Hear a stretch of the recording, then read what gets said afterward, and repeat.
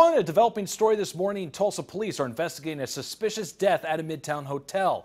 Two Works for You reporter Jitzel Puente has new information. Jitzel?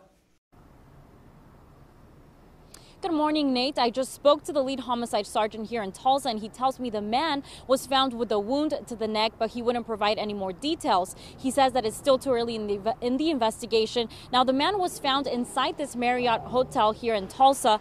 Now, I spoke to an employee here at the hotel, and he she told me that he was not a guest staying here.